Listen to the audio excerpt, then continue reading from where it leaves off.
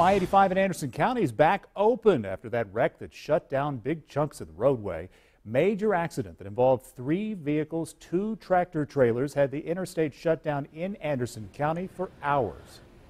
7 News reporter Nicole Ford found out how the crews respond to these situations with major traffic and why it took so long to clean it up. Traffic is moving again on both the north and southbound lanes here on Interstate 85.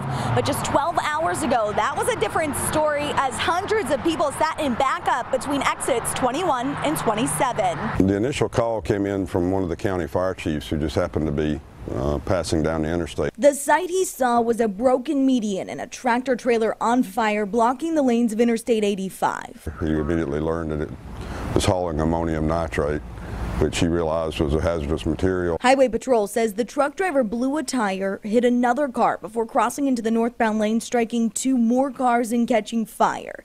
Because of the dangerous chemical in the truck, numerous fire departments and the hazmat team were immediately dispatched. If the fire had actually been involving the material itself, it would have been a situation, as we did yesterday, where we initially advised them not to fight the fire, to evacuate the area to a safe distance because of the likelihood of explosion. At one point, the homes in a one-mile radius to the accident were evacuated for safety. But ultimately, the crews were able to get the fire under control, but the cleanup process lasted for nearly 12 hours. While we keep our fingers crossed and hope that nothing happened, that we still take the proper precautions to make sure that we don't do anything to agitate anything. Deputy Director of Emergency Management Jeremy Pickens says when accidents happen on major interstates like this one, it can be a challenge. Just getting on scene, of course, with that specific scene, um, both sides of the interstate were shut down, so we had to uh, kind of maneuver our way through traffic. But together, the crews work to get lane by lane open and appreciate the patience from drivers. Now, we did call AnMed Health to find out the conditions of those two people who were transported last night,